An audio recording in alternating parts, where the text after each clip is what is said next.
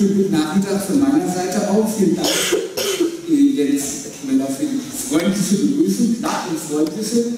Und vielen Dank natürlich auch an äh, Thomas Segebaudi, dass er es immer wieder aufnimmt, zu versuchen, meinen Terminkalender zu durchforsten, um mich hierher zu kriegen, da man als ein, sagen wir mal, Dienstleister für 16 Bundesländer, und das ist das Institut, äh, das wir eben sind, als ein Institut, das zu 100 Prozent von 16 Bundesländern der KMK finanziert wird, kann man sich vorstellen, denken auch 16 Herren, sie hätten einen willfährigen Diener, der dann auch auf das jeweilige Land reist. So ist es.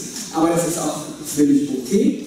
So, wir wollen heute versuchen, die Ergebnisse des aktuellsten Ländervergleichs, der eben zum Kernbereich dessen gehört, was die Kultusminister dem IQB als Auftrag gegeben haben, die Ergebnisse darzustellen. Das ist ein Ländervergleich, der in der Sekundarstufe 1 stattgefunden hat, in der 9. Jahrgangsstufe, und der sich speziell auf die Kompetenzen in den Fächern Mathematik und die drei Naturwissenschaften, Biologie, Chemie und Physik beschränkt hat. Ähm, Sie sehen schon an der Liste der Namen hier oben noch stehen, dass man sowas natürlich nicht alleine macht, das habe ich natürlich nicht gemacht, sondern maßgeblich ein Team von sechs Herausgeberinnen und Herausgebern, die Sie dort sehen. Viel von dem, was Sie hier vielleicht im ersten Aufschlag nicht gleich ganz einordnen können, womöglich, vielleicht aber auch doch, äh, werden Sie auch in dem Modul 4 zumindest nochmal ausführlicher von mir und auch von Herrn Dirk Richter erklärt bekommen oder in der Diskussion dargestellt bekommen, sodass Sie sich dabei jetzt nicht grämen sollten, wenn einiges nicht sofort eingängig ist. Insgesamt hat unser Institut, das Institut zur Qualitätssicherung im Bildungswesen, da gibt es verschiedene Varianten von den Namen, dass ich niemanden übernehme, weil mir selber das ab und zu äh, unterläuft, dass ich diese drei Buchstaben nicht richtig übersetze. Wir haben drei Ländervergleiche äh, im Moment im Auftrag der KMK sozusagen dann einen ersten Zyklus abgeschlossen, zunächst 2009 unter der Leitung von dem Kollegen Olaf Pöller, die sprachlichen Kompetenzen, Englisch, Französisch, Deutsch in der Sekundarstufe 1. Dann im Jahr 2011, 2012 veröffentlicht, der Ländervergleich im Grundschulbereich für die Fächer Mathematik und Deutsch und eben der aktuelle, der äh, letztes Jahr im Oktober, also 2013, im Oktober vorgestellt wurde in der SEC 1 im Bereich Mathematik und Naturwissenschaften. Ah, ja, doch kommt. Ähm, zunächst einmal ganz klassisch, was ist eigentlich der Ablauf äh, einer solchen Erhebung, was passiert eigentlich, was wird genau gemessen? Und Sie werden sicherlich nicht vieles davon kennen, wenn Sie selber gerade die Fächer unterrichten, um die es hier gegangen äh, ging in diesem Ländervergleich. Es gibt bestimmte Kompetenzbereiche, die immer in den Fokus genommen werden. Und die werden auch immer sehr eng angeglichen an das im gleichen Jahr stattfindende PISA-Studienensemble an Fragen, die in die Schulen kommen, sodass manche Schulen in unglaublichen Glück gefunden haben, dass sie gleichzeitig die äh, Tests unseres Ländervergleichs und von PISA 2012 durchführen konnten. Äh, insgesamt wird der Bereich der Mathematik nicht nur als ein Test abgefragt, sondern es wird geschaut, was neben der globalen Mathematikkompetenz auch an inhaltsbezogenen Kompetenzen, also Leitideen nennen das die Fachdidaktiker und Didaktikerinnen in der Mathematik, Zahlen, Messen, Raum und Form, funktionaler Zusammenhang, Daten und Zufall an Leistungen in den Ländern im Vergleich zu sehen. In den Naturwissenschaften werden die drei Fächer nicht nur hinsichtlich des Fachwissens überprüft, sondern auch hinsichtlich der Frage, ob so etwas Übergreifendes wie Erkenntnisgewinnung in den Naturwissenschaften ungefähr in, in der Bundesrepublik Deutschland von den Leistungen her ähnlich verteilt ist. Sie müssen sich das ungefähr so vorstellen, dass dann ein Testleiterteam in die Schulen reinkommt, das ist alles hochgeheim. Diese Tests werden auch unter hohem Verschluss bei uns im Institut gelagert elektronisch und manchmal auch nicht elektronisch, da kommen sie gar nicht rein in die Stichkarten, ebenso wie bei PISA. Und diese Aufgaben werden dann eben möglichst mit einer breiten Streuung an Inhalten an viele Schüler und Schülerinnen, das werde ich vielleicht noch genauer ausführen, äh, zur Beantwortung vorgelegt. Externe Testleitung heißt natürlich immer, dass kein Schummel möglich ist, jedenfalls nahezu kein Schummel möglich ist in diesem Test und dass auch jeder Schüler, jede Schülerin, die neben ihrer äh, Mitschülerin sitzt, einen anderen Test bekommt, tatsächlich als diejenigen, die äh, neben links und rechts daneben sitzen. Die, Aufgaben haben eine große Bandbreite, ich werde sie jetzt gar nicht quälen mit den tatsächlichen Inhalten. Zur Sicherheit für mich und Sie habe ich die richtige Lösung aber auch angegeben. äh, Leute, Jahrgangsstufe. Wir haben dabei auch wichtig gesagt, also Leute, das sind Aufgaben, da muss man eigentlich nur halbwegs vernünftig lesen können und sich dann auch noch äh, zum richtigen Kreuz äh, physisch und motorisch hinlegen können. Es gibt also durchaus Aufgaben, die haben auch bundesweit eine für dieses Beispiel von 97 Prozent. Aber zur Erinnerung, das Ziel ist, dass mit diesem Test auch die möglichst ganze Bandbreite, die in Deutschland vorhanden ist, an Fähigkeiten in den getesteten Fächern sichtbar gemacht werden kann. Wir haben hier eine Aufgabe, die fand ich schon persönlich etwas schwieriger im Bereich der Mathematik, die nur noch von 35 Prozent bundesweit Schüler und Schülerinnen in den 9 Jahren gelegt wurde. Da ging es um die Aufstellung von Gleichungen, äh, also funktionalen Zusammenhängen. Sie müssen das wirklich nicht im Einzelnen sehen. Äh, auch im Bereich der Chemie, auch im Bereich der Chemie, stellvertretend für die drei Naturwissenschaften, gibt es das gleiche Prinzip. Wir haben relativ einfache Aufgaben dabei. Diese hübsche Gurke da links werde ich noch äh, näher im Nachmittagsmodul, im späteren Nachmittagsmodul derjenigen erklären können, sind. Diese äh, Aufgabe hat, äh, haben also fast zwei Viertel der Schülerinnen und Schüler gelöst. Es sind alles Aufgaben, die äh, von der Art und Weise so konstruiert sind, dass sie möglichst nah an Wirklichkeitsthemen sind.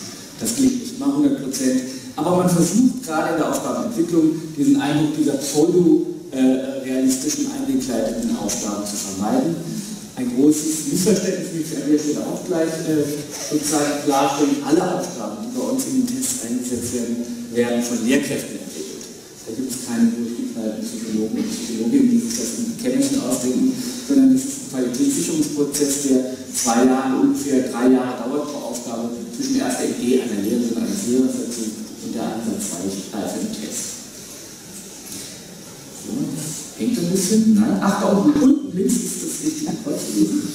Es gibt aber eben auch naturwissenschaftliche Aufgaben, wo man sagt, naja, als Gymnasiallehrer in der Chemie oder Lehrerin würde ich sagen, na, das müssen die halt können am Fastende der Sekundarstufe 1 aber so etwas wie ähm, tatsächlich selbstständig Formelgleichungen chemische aufzustellen, gelingt tatsächlich mit 3% am Ende der neunten Jahresstufe aus einer solchen Aufgabe.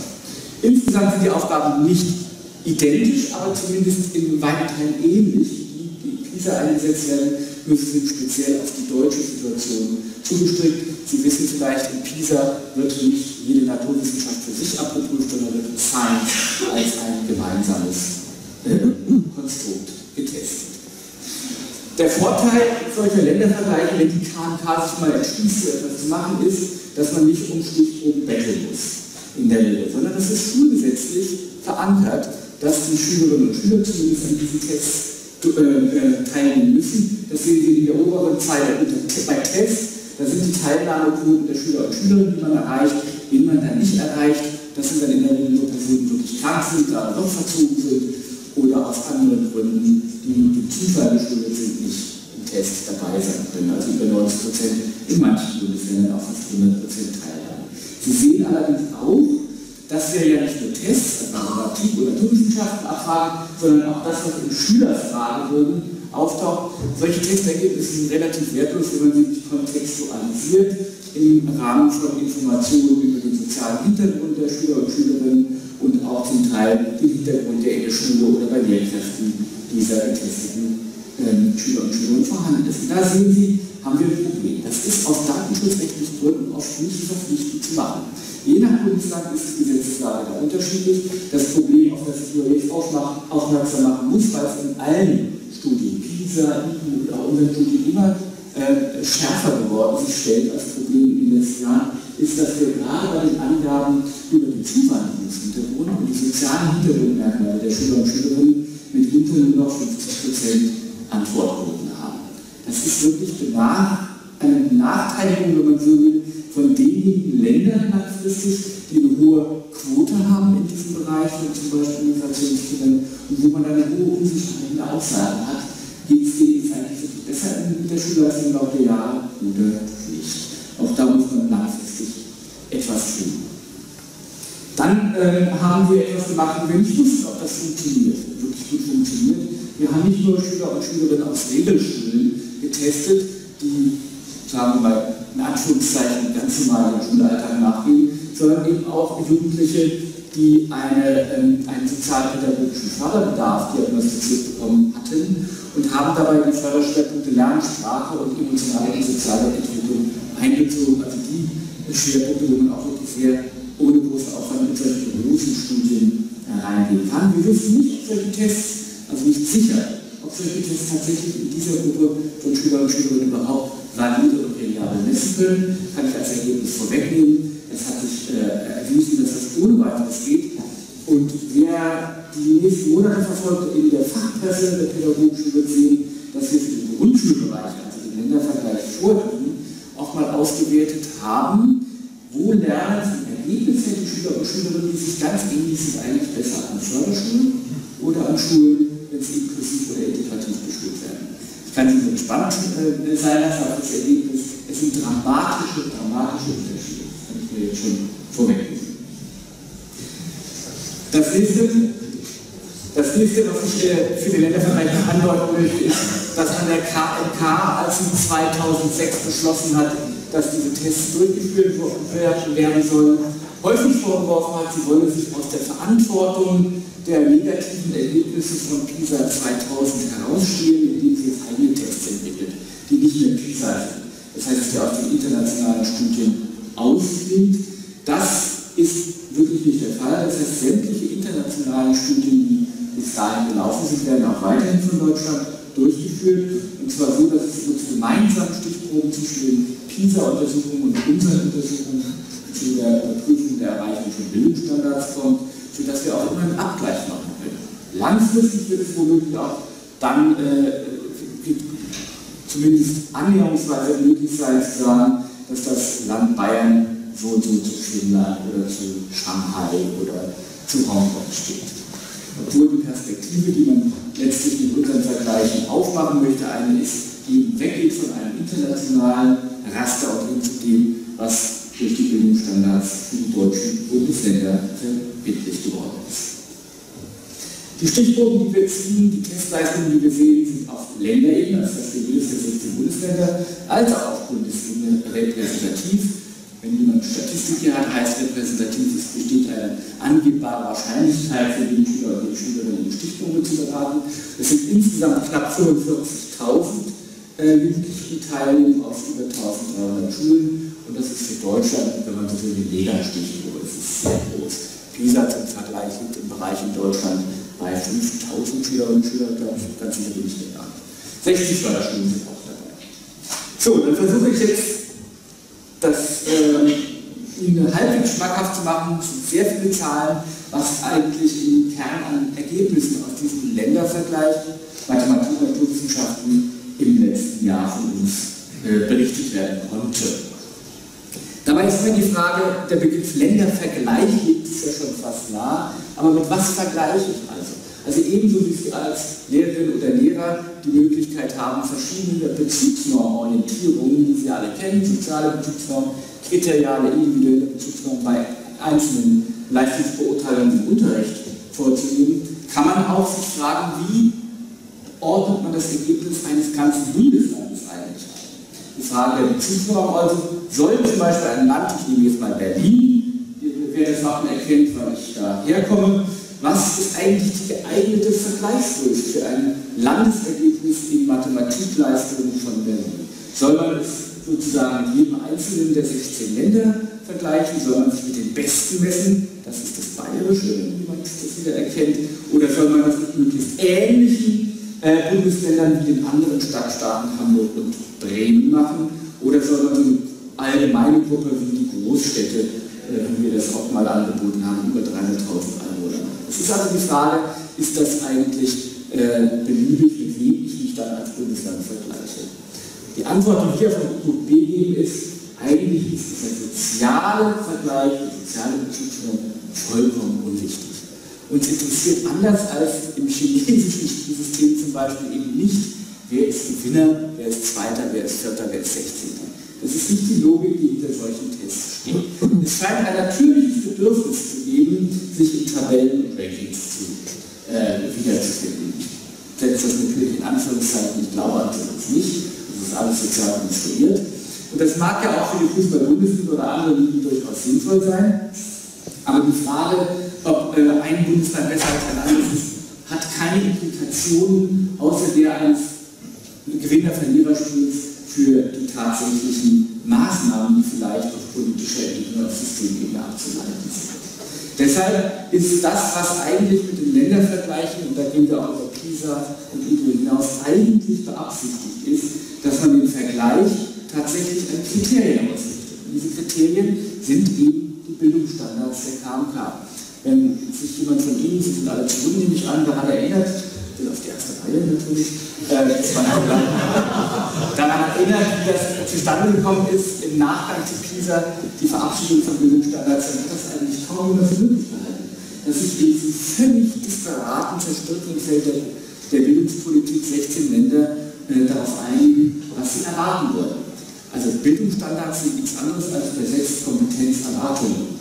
Da werden normativ Erwartungen gesetzt in diesem grünen Heftchen und weil sie normativ sind und nicht wissenschaftlich, heißt das auch nichts anderes, als dass sie einen öffentlichen, interessierten Diskurs oder Diskussion ähm, abzuringen sind, was man sich denn vorstellen stellt, was Schülerinnen und Schüler am Ende einer bestimmten Bildungsetappe können sollen.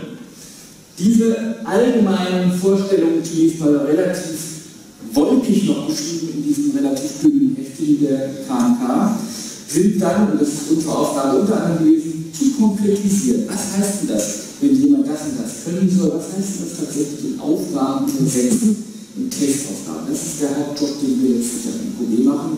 Aus den normativen Vorstellungen der Kultusminister valide und reale Testverfahren, die auch genau das messen, wo man dann jedes Ergebnis daran messen können soll. Und ich sage, ein, äh, ein Land hat 30 Prozent auf einer bestimmten Kompetenz von Schülern und Schülerinnen, dann weiß man auch, was dahinter steht, was die Schüler und Schülerinnen dann wirklich in der Regel auch können. So eine Metrik, wie sie bei PISA und auch bei unseren Ländervergleichen eingesetzt wird, ist eine sehr willkürliche Angelegenheit. Normalerweise ist es wie bei PISA, so auch bei uns so, dass im Mittelwert und die gesamte Gruppe der Schüler und Schülerinnen des neuen Jahrgangs hier ähm, ein Wert von 500 gesetzt wird. Das könnten auch 800.000, 2,4 oder irgendwas. Das ist völlig arbiträr. Man setzt nur irgendwo. Und ich warne davor, schon im Vorgriff auf die eher methodischen Seminare, zu glauben, wenn 500 Punkte dran steht bei unserem Ländervergleich, dann können Schüler als Schüler die 500 Punkte bei PISA erreicht haben, genau das Gleiche. Dem ist leider nicht so. Es handelt sich um verschiedene Testverfahren mit beliebiger sozusagen äh, Kalibrierung auf einen bestimmten Punktewert. Deshalb ist es umso wichtiger, dass man sich Inhalte vor Augen führt, was bedeuten eigentlich diese Punkte, die mit so einem Test abgebildet werden oder gemessen werden. Dann weiß man aus Menschenstudien und auch aus Studien, die wir nebenbei durchgeführt haben, dass am Ende der Sekundarstufe 1, also neunte Jahrgangsstufe, wo wir gemessen haben, in den Mathematik, mathematischen, naturwissenschaftlichen Fächern pro Schüler ca. 25 bis 30 Punkte im Durchschnitt zugewonnen werden können. Nicht mehr, nicht weniger. Im Grunde in der Grundschule waren es ungefähr 60 bis 80 Punkte. Die Lernkurve der Themen ist einfach ein bisschen höher. Jetzt zu einem der zentralen Ergebnisse. Wie gesagt, nicht nur wir, nicht nur die Presse, nicht nur die Öffentlichkeit haben sich diesem äh, routinierten Fetisch Rangplatzierung unterworfen. Auch die Politik selber fordert das immer wieder ein. Wir versuchen das zumindest abzumildern, indem wir sagen, uns interessieren letztlich wenigstens nur drei Leistungsgruppen. Es gibt eine große Mittelgruppe, die sehen Sie hier mit dem gestrichelten Kasten umrahmt. Dann sind die durchschnittlichen Länderergebnisse drin, die nicht statistischen Sinne signifikant vom gesamtdeutschen Mittelwert von 500 Punkten abweichen. Da könnte man auch sagen, das ist das langweilige oder ruhige oder die Komfortzone des Mittelbereichs um den deutschen Mittelwert. Dann gibt es eine kleine Gruppe, die weicht statistisch zu überzufällig davon ab, nach oben, und es gibt eine, die nach unten abweicht. Und inzwischen hat sich die Politik auf so eine Sichtweise geeinigt, vor allen Dingen anzugucken, um Gottes Willen, hoffentlich bin ich nicht in der und Willen, hoffentlich bin ich in der oberen Gruppe, damit die Presse gut ausfällt dazu. Auch diese Logik ist ein Zwischenschritt zu der von mir vorhin angekündigten Sichtweise, die ich bevorzuge, oder wir alle, und wenn man Politiker und Politikerinnen fragt, die eigentlich auch, dass man sagt, naja, eigentlich geht es doch darum zu gucken, sie das geschafft haben, was sie als normative Erwartung äh, in den Bundesstandard formuliert haben. Anders als China kann es damit theoretisch in so einem System für Qualitätssicherung 100% Gewinner geben, theoretisch. Nämlich wenn alle über diese Hürde der Standards gesprungen sind. Es gibt nicht automatisch immer auch Verlierer. Es war ganz interessant, als ich mit den Kollegen und Kolleginnen von der äh, East China Normal University aus Shanghai im Austausch war. Die waren bei uns in der großen Delegation, wir bei denen und haben auch Schule und Unterricht gesehen, bis sie verstanden haben, was der Unterschied ist eines Systems, das nicht automatisch immer Gewinner und Verlierer in einem Lösungsspiel produziert, wie ein sozial orientiertes System, versus ein System, wie wir versuchen zu implizieren, implementieren, wo es darum geht, die Erwartungen, die Überprüfung des Erreichens von Erwartungen in zu nehmen. Inhaltlich sehen Sie das, was vielleicht auch in der Presse wahrgenommen haben, hier für den Bereich der Mathematik. Oha, das sind zumindest vier der fünf ostdeutschen Flächenländer, ganz weit oben. Bayern hat sich dazwischen gemöbelt. Und Sachsen ist nochmals deutlich abgesetzt von den anderen Ländern. Und das ist ein Ergebnis, was in seiner Klarheit von uns noch von anderen direkt erwartet wurde. Viele haben dann im Nachhinein gesagt, aus den politischen Administrationen, aus den Häusern, auch, auch aus den Fachgesellschaften, naja, das ist das eigentlich doch nicht.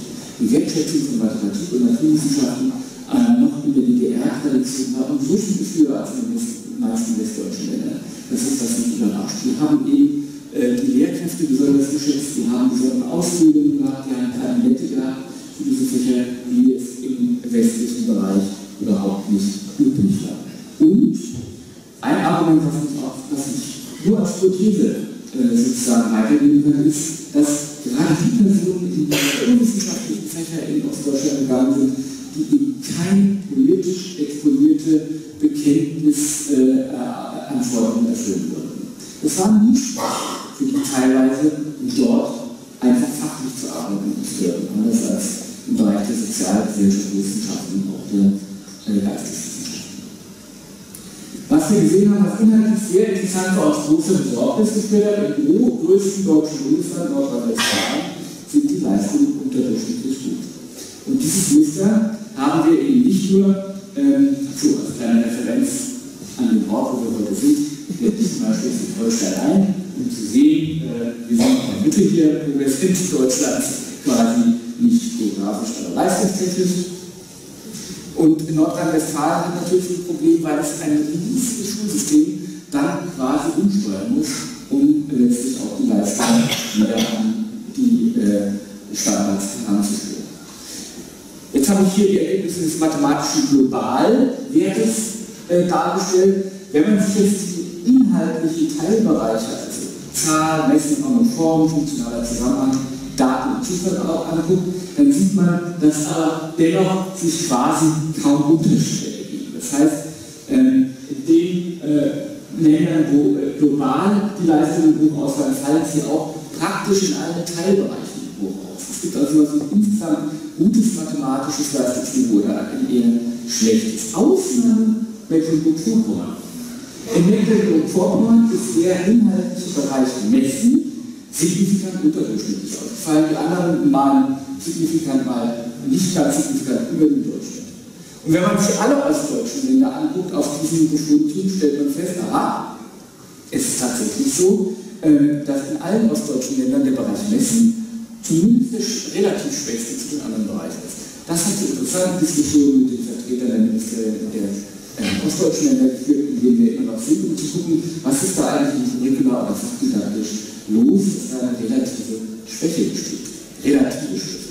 Das gleiche Muster, ich werde abkürzen, besteht für alle drei Naturwissenschaften und auch für alle Bereiche äh, Erkenntnisgewinnung und äh, Fachwissen. Das heißt, wir haben den Befund, dass die ostdeutschen Flächenländer vorne liegen, dass sich Bayern und Rheinland-Pfalz gerade noch ranschmiegen an diese Spitzengruppe und dass die Stadtstaaten plus Nordrhein-Westfalen immer relativ weit oben sind. Schleswig-Holstein natürlich nicht. Dieses Muster, wie gesagt, ist durchgängig. Das heißt, wir haben es auch nicht mit Zufallsschwankungen zu tun oder nicht interpretierbaren Auf- und Ab, Zack, Zickzack äh, äh, Profil, sondern es ist ein relativ homogenes Bild, was die Leistungsstärke in den drei naturwissenschaftlichen Fächern in jeweils zwei Kompetenzbereichen angelegt. Insgesamt, wenn man die Ergebnisse auf dieser Ebene versucht zusammenzufassen, heißt das, und das soll der Ländervergleich ja vor allen Dingen auch bringen, äh, als Ergebnis bringen, wie sieht es aus im Vergleich der 16 Länder. Und wir sehen, dass der Abstand zwischen den höchsten und niedrigsten Landesmittelwert in Mathematik 65 Punkte und in der naturwissenschaftlichen Fachfächern äh, 50 bis 68 Punkte beträgt. Das heißt übersetzt in unsere Lernzuwachs-Interpretation äh, zwei bis zweieinhalb Jahre in der Mathematik, anderthalb bis zweieinhalb Jahre in den Naturwissenschaften im Durchschnitt. Und das ist der Sprengstoff, der eigentlich für ein föderales System aus diesen Ergebnissen deutlich wird. Was kann eine Schülerin, ein Schüler dafür, wenn sie in einer Bremen aufwächst und dort zur Schule geht? Das heißt, wir haben eine quasi vorhersagbare äh, Minderleistung im Durchschnitt, zumindest für Schüler und Schüler aus bestimmten Ländern, die massiv und dramatisch zum Ende des neunten Jahrgangs ausfällt.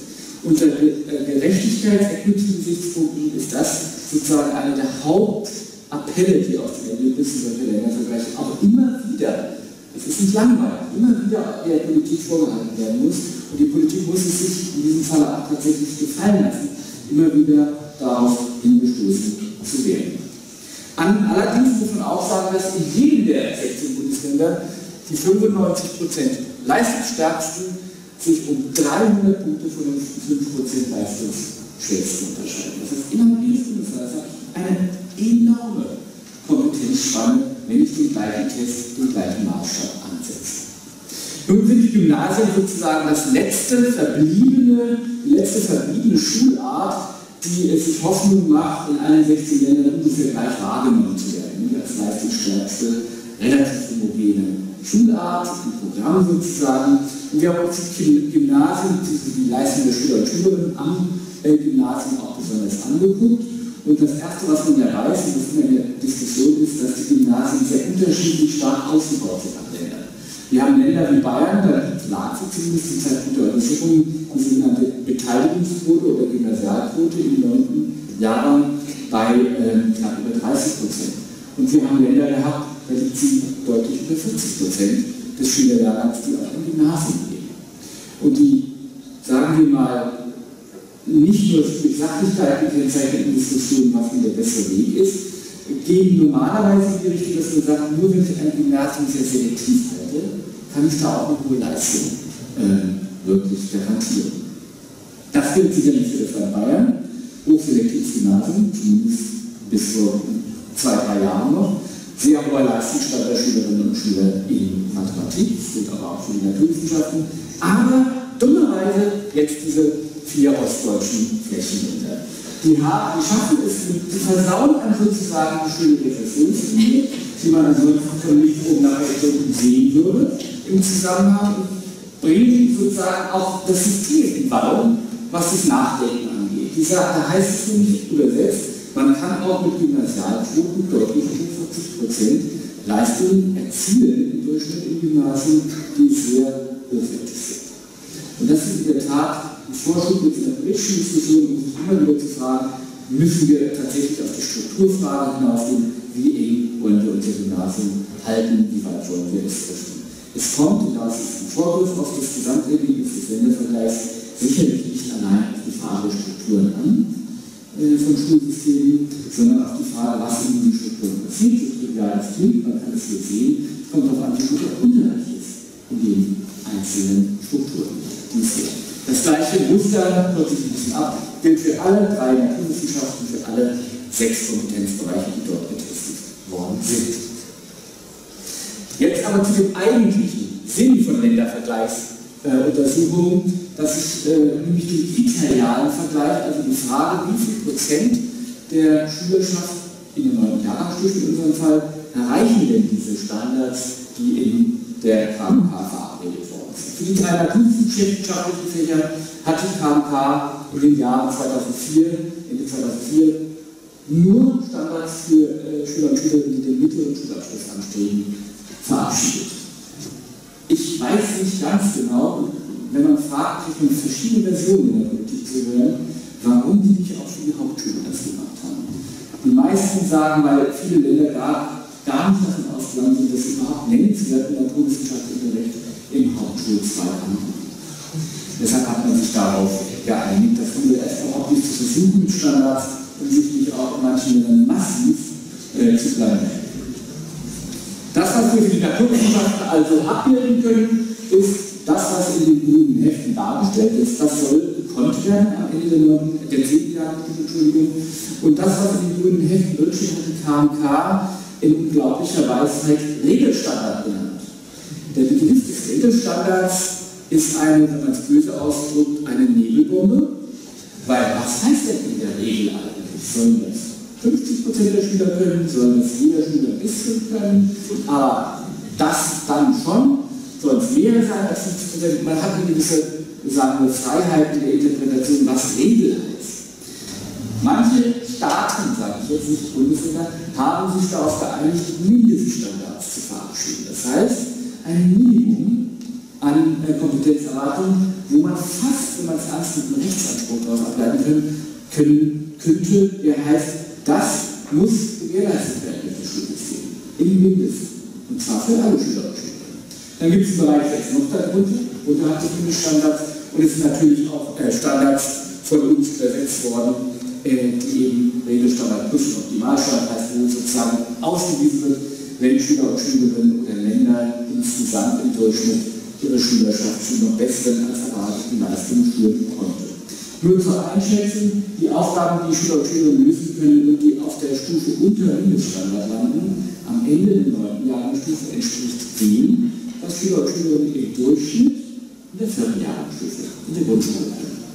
Das haben wir dadurch festgestellt, wie wir bei Grundschülern sowohl schwere als auch Aufgaben auf dem Sicherheitsbereich als auch aus dieser Kompetenzstufe als auch ihre eigene gegeben haben, das lässt sich relativ gut zeigen. Das heißt, es ist etwas dramatischer ausgedrückt nicht akzeptabel, wenn am Ende der 9. Jahrgangsstufe Schüler und Schülerinnen auf dieser problematischen Stufe 1 verharren. Ich muss jetzt leider mit einer gewissen Verkomplizierung belästigen, die politisch studiert ist, auf die werde ich nicht eingehen, das würde viel zu lange dauern. Nämlich für das Fach Mathematik gibt es Standards nicht nur für den mittleren Schulabschluss, sondern auch für Schülerinnen und Schüler, die den Hauptschulabschluss anstreben. Da hat man es also gewagt. Man hat es aber bisher noch richtig getestet. Und weil man es nicht so richtig getrennt ausweiten wollte, hat man gesagt, na ja, dann fassen wir die irgendwie zusammen, integrieren das, machen ein Kompetenzstufenmodell, auf dem die Mathematikleistungen abgebildet werden, wo man dann sozusagen sowohl die für den mittleren Schulabschluss als auch die für den Hauptschulabschluss sehen kann. Wir wissen aber nicht so genau, wie gut das funktioniert mit dem Hauptschulabschluss. Deshalb gucken wir uns für die neunte Jahresstufe insgesamt an, egal sie anstehen, und stellen im ersten Aufschlag mal die Ergebnisse nur insgesamt dar. Das führt, ich werde es einfach nicht verheimlichen, wir haben es nicht durchsetzen können bei der Darstellung CCDs, das führt zu der unschönen äh, Situation, dass man gar nicht sagen kann, ob die oder wie viel Prozent der Schüler die den MSA anstellen, auch tatsächlich die Standards für den MSA erreichen. Und umgekehrt, wie viele, die den HSA nur anstellen, auch ihre Standards des HSA erreichen. Sondern man hat so eine interessante Gemengelage, wie viele von den äh, Schüler und Schülerinnen insgesamt in der Jahrstufe erreichen eben diese Kompetenzstufen. Wenn man das für Schleswig-Holstein beispielhaft ansieht, jedes Land hat diese Ergebnisse dann bekommen, dann sieht man, dass zumindest die Stufen 1a und 1b, also diese Fehlung des Mindeststandards für den MSA von 23,4% in Schleswig-Holstein, dass diese, äh, dieser Mindeststandard nicht erreicht wird. Aber wir können nicht sagen, wie wirklich das anstellt. Das ist ein, eine Krux, die wird sich, glaube ich, nach dem ähm, verbalen notwendig waren, in jedem Land das erklären, das nächste Mal von selber gehen. Das wird nicht wieder passieren. Aber interessant sind also vor allem diese drei Kennwerte im Ländervergleich, wie viele bleiben unterhalb der MSA äh, oder unterhalb des äh, MSA, oh, Mindeststandard heißen, Entschuldigung, unter MSA Mindeststandard, das ist ein Tippfehler links von mir. Wie viele erreichen mindestens die Stufe 3, also mindestens Regelstandard für die MSA-Schüler und Schülerinnen und ein spezielles Augenmerk auf die Gymnasialschülerinnen und Schüler, wie viele sind denn wirklich Optimalstandards haben, das heißt, wie viele erreichen wirklich Spitzenleistungen. Ich werde Sie jetzt nicht auch nicht mit jeder Zahl wählen, aber das ist das, worüber wir seit 16 Ministerien Kopf zerbrechen können. Wenn man sich anguckt, hier sind alle 16 Länder in der Verteilung auf diese äh, Kompetenzstufen abgebildet. Man sieht, dass in der Mathematik insgesamt ein Viertel sozusagen der Schülerschaft insgesamt der 45.000, die getestet wurden, ähm, unterhalb äh, des Mindeststandards des mittleren Schulabschlusses landen. Und man sieht, dass das doch sehr stark in den roten Anteilen kenntlich gemacht äh, variiert von Land zu Land. In manchen Ländern wie äh, der Hauptstadt Bremen sind fast 50 Prozent der Schülerschaft unterhalb des Mindeststandards, unterhalb des Mindeststandards für den MSA, also Grundschulniveau würde ich auch sagen, äh, verharrt. Ähm, während das in anderen Ländern, wie zum Beispiel in äh, Sachsen, nur 11 Prozent sind, 11,5 Prozent. Das Gleiche, was wir feststellen können, ist, dass, dass das Erreichen der Regelstandards für die LSA in der Mathematik von allen neuen Klassen zu ungefähr 47 Prozent, in Sachsen 50 Prozent der Schüler und Schülerinnen schaffen. Das ist, ist leider nicht die qualifizierte Aussage, man gerne hätte, das ist gar nicht schlecht immer eingedeckte Tatsache, dass da die Schüler und Schülerinnen nach der 9. Klasse mit dem HSA gehen werden, ja auch noch mit drin äh, beinhaltet sind. Und deswegen schließlich noch für die Gymnasialpopulation, äh, dass der Optimalstandard ebenfalls in manchen Ländern erreicht wird, wie in Bayern von 90 Prozent der Schüler und Schülerinnen, die zeigen Leistungen auf der Stufe 5. Und das heißt, übersetzte Inhalte die können eindeutig bereits Sekundarstufe 2 äh, Stoff bewältigen. Erfolgreich bewältigen. Aber wir haben auch andere Länder, in denen die Gymnasien wesentlich schwächer sind. Sind die bekannten Stadtstaaten, in diesem Fall Niedersachsen und das Saarland. Das gleiche gilt, ich mache etwas Zeit, das ein bisschen schneller, das gleiche Muster gilt letztlich auch für alle naturwissenschaftlichen Fächer und Fachbereiche. Wir haben eine große Streuung hinsichtlich der Frage, äh, wie viele äh, Schüler und Schülerinnen prozentual auf den verschiedenen Stufen in den Ländern anzutreffen sind. Was man insgesamt feststellt, ist, dass in den Naturwissenschaften die Erwartungen offenbar so gesetzt wurden, dass vor allem in der Biologie sehr wenige die Mindeststandards verfehlen. Und man sieht äh, eben auch, dass die Regelstandards, äh, mindestens die Regelstandards von über 60, 70, zum Teil 80 Prozent der Schülerinnen erreicht werden in der Biologie, in fast jedem Land. In Deutschland bei 70,5 Prozent. Das kann zwei zweimal heißen. Entweder der Biologieunterricht ist toll, wunderbar, übrigens besser als die Biologie, schneidet schlechter ab, oder aber man hat sich damals bei der normativen Festlegung dessen, was man mindestens erwartet hat, der Lernstufe, ein bisschen zu wenig einem Wort, ein bisschen zu niedrig. So etwas kann man aus dem System rauskriegen. Das muss man bei uns dann immer wieder diskursiv rechtfertigen. Warum ist das das, was man braucht in Biologie am Ende der Sekundarstufe 1? Oder müssen wir da sozusagen den Standard etwas anziehen, damit wir, was auch immer, international wettbewerbsfähiger werden, damit die abnehmenden Systeme wie die berufsbildenden äh, Schulsysteme oder die Ausbildungssysteme mehr mit den äh, Abgängern, dem MSA anfangen können. Das ist eine Diskussion, die gerade anfängt. Wir haben jetzt einen Fachtag geplant zusammen mit dem BIP, äh, dem Bundesinstitut für Berufsbildung, wo wir gemeinsam über die Fragen uns austauschen, UB und BIP, äh, was brauchen eigentlich diejenigen, die im Beruf anfangen, die den MSA und was brauchen die eigentlich wirklich für Kompetenzen? Muss man da vielleicht langfristig nachschärfen, was man erwartet So, wenn man mir noch ein bisschen Zeit lässt, weiß ich nicht. Ja? Ja. ja?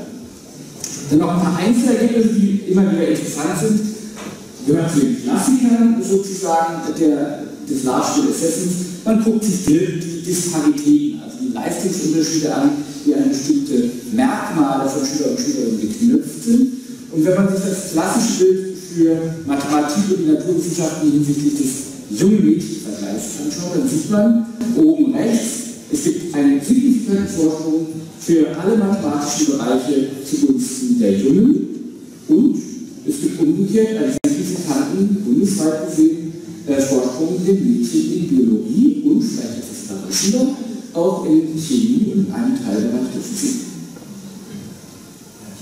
Was man dann sieht, wenn man sich gleichzeitig anguckt, jemand durch das Land Schleswig-Holstein, Was glauben denn die jungen Mädchen, die sie sind in den jeweiligen Fächern? Also das Selbstkonzept, das fachspezifische Selbstkonzept und das fachspezifische Interesse, dann stellt man als etwas fest, was ein Ansatzpunkt für Interventionen ist. Dass Jungen sich grundsätzlich noch besser in Mathe einschätzen, als sie tatsächlich sind, und dass sie Jungen grundsätzlich deutlich besser in den drei naturwissenschaftlichen Fächern einschätzen, als sie es in Wirklichkeit sind. Das ist die Mädchen etwas besser, wenn oder sie sind zumindest gleich gut. Das heißt, wir haben es klassischen Schere zwischen Selbstwahrnehmung und Interesse auf der anderen Seite und den tatsächlichen Kompetenzen zu tun. Da könnte man sagen, drüber lächeln, aber wenn man sich dann überlegt, wie viele Mädchen mit guten Kompetenzen, hervorragenden Kompetenzen, kommen dann eben nicht in den entsprechenden Studiengängen an. Das ist ja dramatisch. Äh, da müssen wir fragen, ob man in der Schule durchaus da an Selbstkonzept und Interesse geschlechtsspezifisch intervenieren muss. Anderer Klassiker, soziale und zuwanderungsbezogene Disparitäten. Da gibt es so etwas wie den sozialen Gradienten. Der zeigt an, wie stark ist in einem Bundesland die Leistung geknüpft an den sozialen Hintergrund des Elternhauses der Kinder. Ich will jetzt gar nicht auf die technischen statistischen Details eingehen. Man sieht nur, oha, das Land Brandenburg war schwer unruhig, ich war schon beim letzten äh, PISA-Durchgang, weil da ist die Koppelung von Leistung an den sozialen Hintergrund am stärksten. Anfang der Jahre, dieser 2000, 2003, Brandenburg hat immer quasi selbst ironisch beworben, wir können zwar nichts, aber das können alle gleich gut. Das heißt, es gibt überhaupt keine sozialen Disparitäten bei der Leistung, das hat sich verändert, Land schwer beunruhigt. Dazu muss man sagen, einerseits im Mathematik, auch in anderen äh, Domänen, weicht aber keiner dieser Indikatoren für die soziale Gebundenheit der Leistung signifikant von deutschlandweiten Wert ab. Es gibt zwar Unterschiede, aber letztlich kann man die Generalaussage treffen, in Deutschland ist eine starke Kopplung nach wie vor gegeben von sozialen Hintergrund und Leistung. Oder Kompetenz, nicht nur Kompetenzen, wie wir es messen. Das ist aber, wenn man PISA und andere internationale Studien anguckt, dort auch nicht anders. Im Gegenteil, da hat Deutschland tatsächlich auch schon in den letzten zehn Jahren, wenn man das PISA-Ergebnis verfolgt, am Anfang war Deutschland eines der Länder mit der stärksten Kopplung von Leistung und sozialem Hintergrund. Inzwischen ist Deutschland im normalen PISA-Durchschnitt angekommen. Da ist tatsächlich was Positives festzuhalten.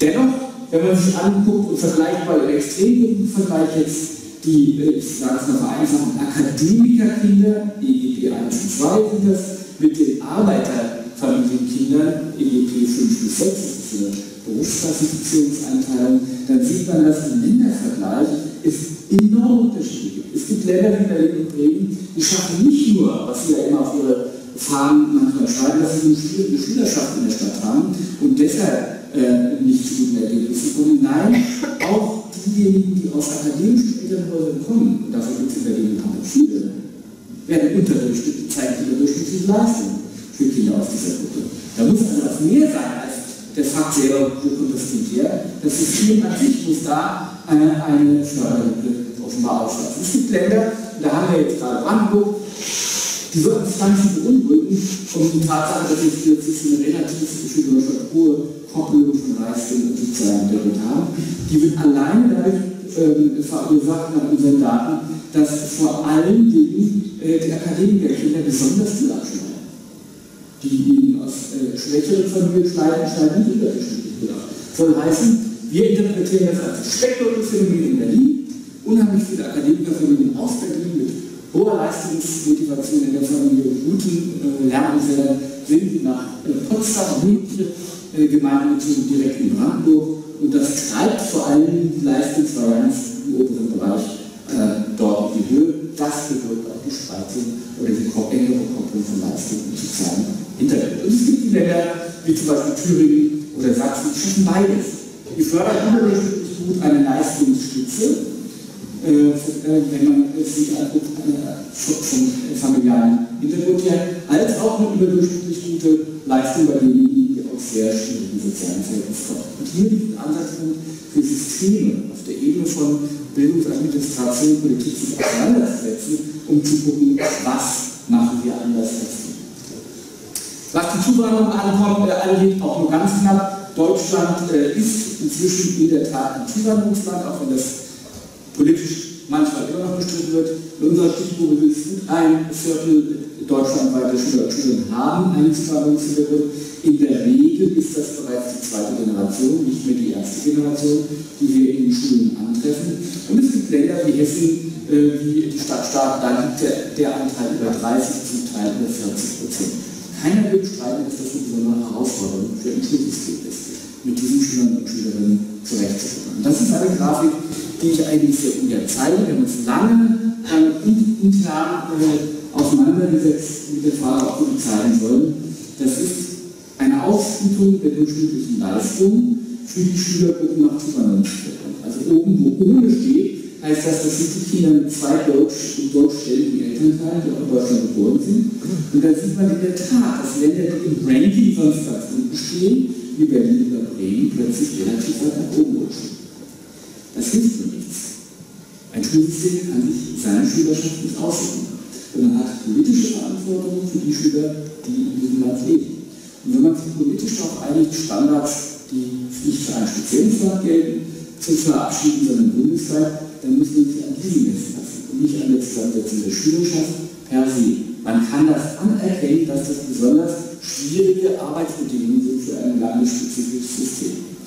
Schleswig-Holstein hat hier übrigens auf eine äh, in allen Teilbereichen der Zuwanderungsgruppen äh, zu bringen, ist auszuweisen. Das lassen wir. Hat eins die westdeutsche Städtenland, hat Schleswig-Holstein sehr wenig Migrationsbevölkerung in der Schulschaft. Das ist eine sehr heikle Tabelle, weil sie natürlich politisch Sprengstoff beinhaltet und von daher immer wieder kommentiert werden muss. So, noch was zur Lehrkräfte? Ja. Gut. Ja. Eine besonders interessante Frage, die wir nebenbei in den Fragebogenteilen nicht die Schüler kriegen, Lehrkräfte, die diese Schüler, die wir testen, unterrichten haben, ist die Frage nach ihrer wunschständigen Ausbildung und nach ihren Fortbildungsaktivitäten. Wir fragen auch noch eines anderes die Lehrkräfte, wie sie sind, was ist das alles sehr interessant, welche Länderunterschiede es gibt, aber ich konzentriere mich mal auf die Frage, wie die 4000 Lehrkräfte in Mathematik und Naturwissenschaften, die in der Studie dann beteiligt, beteiligt haben, äh, die qualifiziert sind. Und was wir sehen, ist, dass der Anteil der befragten Lehrkräfte ohne die Lehramtsbefähigung im Fach, das heißt, das sind diejenigen, die Lehramt studiert haben, aber nicht das Fach unterrichten, das sie studiert haben. Dass wir den Anteil im Gymnasium nachvollziehen können, das quasi werden über 90 Prozent, werden Lehrkräfte fachgemäß eingesetzt, wir nicht gymnasialen Zweigen, allerdings erreicht das im Fachstudium Physik fast ähm, jede äh, fünfte Lehrkraft. Nun haben wir hier nicht ausgewertet, das sage ich bewusst einschränken, ob das jetzt dann Chemielehrer waren, Physik unterrichtet haben oder Musiklehrer. Das dürfte nicht sein. Das werten wir gerade noch aus. Also wie, stark ist die Affinität des sozusagen nicht studierten Faches, das aber unterrichtet wurde. Aber insgesamt ist es eine Zahl, die äh, durchaus Furore gemacht hat in den entsprechenden Landesinstituten. Erfreulich, wenn man will, was die Fortbildungsseite angeht, dass die Mehrzahl, drei Viertel ungefähr, mindestens an einer Fortbildung innerhalb von den letzten zwei Jahren Vorbereitung teilgenommen hat. Die Fortbildungsschwerpunkte der Fachdidaktik, bei Unterrichtsformen und Methoden der Nutzung von Medien im Unterricht macht. Lehrkräfte, und das ist wiederum ein eher bedenklicher Befund, Lehrkräfte ohne Lehramtsbefähigung in dem Fach, das sie unterrichteten, suchen deutlich seltener Fortbildungen zur Fachdidaktik und anderen unterrichtsbezogenen Themen. Also aus die, die es möglicherweise eher brauchen, meiden tendenziell, signifikant, diese Fortbildungsangebote. Auch da ist die Fortbildungsplanung und Steuerung sowohl in Schulen als auch zentral durchaus ein Ansatzpunkt.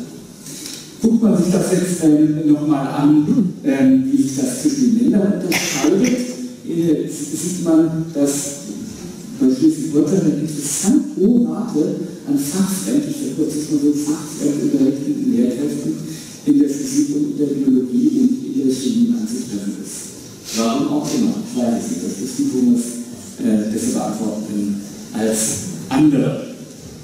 Was den Fortbildungsstand angeht, insgesamt die Teilnahmequoten an Lehrerfortbildung, so zeigt sich, dass auch hier in den Ländern unterschiedliche Quoten vorliegen. Die rechtlichen Regelungen sind hier allerdings auch von Land recht unterschiedlich. Und äh, das Interessante auch hier bei Schleswig-Holstein sind deutlich unterdurchschnittliche Quoten der Fortbildungsteilnahme in ins gesamtspezielle Fach Chemie. Fragt man dann nun, welche thematischen Fortbildungsschwerpunkte werden gewählt, dann sieht man, dass es mit großem Abstand, sowohl bundesweit als auch hier in Schleswig-Holstein, fachdidaktische Themen sind, die angewählt werden, dass manche Themen wie ähm, Förderung von Lernstoffen Schülern für mich und Schülerinnen für mich zumindest überraschend wenig angewählt wurden. Und das mag aber damit zusammenhängen, dass da auch das Angebot, zum Beispiel wenn man sieht Bindendifferenzierung und auch sehr stark angewählt wurde. Ähm, was interessant ist, ist die Lehrkräfte zu befragen, die keine Fortbildung, zwei Jahre lang keine Fortbildung, nee, schon zwölf Monate lang keine Fortbildung äh, durchzuführen, das andere Ratsni. Da sieht man, dass die Gründe sich in nicht sehr stark von den Bundesstaaten unterscheiden. Vor allem unpassende Zeiten ist der Spitzenreiter und der Unterricht kann schwer abgedeckt werden, wenn er ausfallen ist und so weiter und so fort. In den Flächenländern natürlich auch immer die Frage, der Ort überhaupt erreichbar Ganz interessant für Schleswig-Holstein ähm, ist ein Punkt, den wir auch schon diskutiert haben in der Veranstaltung vor einigen Wochen, äh, Thomas, ist, dass sich bei dem Grund, weil sich meine Schule nicht an den Kosten für Fortbildung beteiligt, in Schleswig-Holstein prozentual das doppelt so hoch genannt wird wie bundesweit. Das heißt, wohl ist das ein Scheinberufsverfahren oder liegen wir tatsächlich äh, auch Gründe vor, die möglicherweise äh, durch Veränderungen im Fortbildungshunger etwas steigen können? Für uns war die interessante Frage, spielt es überhaupt leistungsmäßig eine Rolle? Ist es nicht völlig egal, ob eine Lehrkraft fachfremd oder äh, im Fach adäquat unterrichtet, was die Leistung der von dieser Lehrkraft unterrichteten Schüler und Schülerinnen in unseren Tests angeht. Was wir festgestellt haben, Herrn Sorgen, Sie müssen sich das angucken, das tut wir zum Nachweis unseres statistischen Zaubers. Was man sehen kann, ist, wenn man alle möglichen anderen Faktoren, die auf Leistung einen Einfluss haben, also das Geschlecht des Schülers, der Schülerin, die Familiensprache, der sozioökonomische Hintergrund, selbst die kognitiven Grundfähigkeiten, wenn man all diese Einflüsse mal ausrechnet, statistisch ausrechnet, dann bleibt immer noch für den, ein, für den Faktor, ob eine Lehrkraft die Lehrbefähigung in dem Fach hat oder nicht, ein erheblicher Effekt Wenn man das alles in Rechnung stellt, ist im Durchschnitt die Leistung im Fach Mathematik um 18 Punkte schlechter bei den Schülerinnen und Schülern, die eine Lehrkraft hatten, die nicht weiter studiert hat. 18 Punkte, übersetzen wir nochmal kurz zurück, ist ein Dreiviertel Schüler im Durchschnitt. Das ist ein sehr starkes Argument, das äh, man intuitiv vielleicht sehr schnell nachvollziehen kann, aber man auch mal sehen muss, dass in diesem, äh, gerade in so einem Fach es ganz wichtig ist, dass nicht irgendjemand eingesetzt wird. Wie auch immer Gründe dafür sein mögen, das gibt Unrationalitäten, warum das vor Ort in Schulen zu gehandhabt wird. Zum Schluss, wenn ich jetzt nochmal insgesamt vergleiche, was haben wir denn an den Ländervergleichsstudien äh, an möglicherweise auf Systemebene neuen Informationen an Gewinn, dann kann ich zwei Vergleichshorizonte wählen. Ich kann einerseits die zeitliche Perspektive wählen und sagen, wir haben zwar einen Bruch in den Testverfahren, in der ganzen Logik zwischen PISA 2006 und unserem Ländervergleich 2012, sechs Jahre dazwischen, aber wir können uns angucken, wie, welche Punktzahl und welche damit relative Stellung innerhalb Deutschlands haben die einzelnen Bundesländer angenommen damals wie heute. Und ich stelle fest, es gibt eine hohe Konstanz im System. Das heißt, es gibt eine Gruppe von Ländern, Bremen, Hamburg, Nordrhein-Westfalen, die waren unterdurchschnittlich gut in PISA 2006 und die waren unterdurchschnittlich gut in unserem Ländervergleich. Es gibt eine Gruppe von zwei Ländern, in diesem Fall Sachsen und Bayern genannt, beiden Untersuchungen, auch wenn man sie nicht eins zu eins ersetzen kann, äh, überdurchschnittlich gut.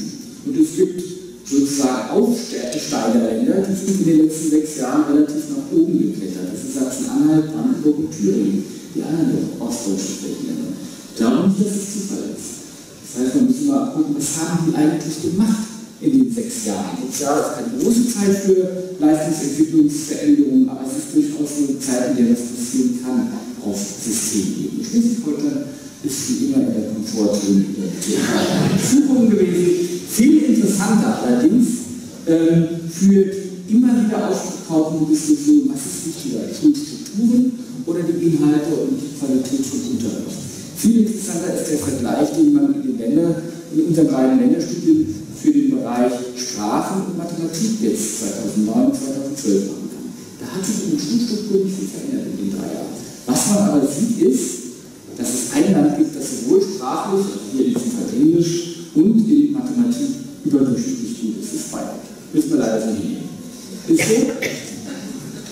Aber wir haben diese wiederum interessante Gruppe fünf ostdeutschen Flächenländer, die waren 2009 in den Englisch-Tests von unserem EQB-Ländervergleich, waren die weit unterdurchschnittlich schlecht.